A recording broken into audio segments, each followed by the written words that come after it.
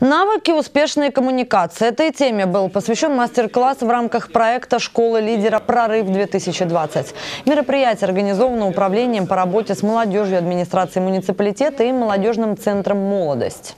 Мы решили сделать мастер-класс именно о том, а, что может пригодиться прямо сейчас. То есть это первые шаги, это знакомство с человеком, как расположить его к себе, а, как начать разговор, о чем разговаривать. Собственно, вот именно первые шаги, это у нас небольшие такие по пунктам. Мы расскажем, как а, нужно себя вести, чтобы наиболее удачно выстроить общение, диалог. Центре «Патриот» собрались представители молодежных объединений Серпухова и старшеклассники школ городского округа.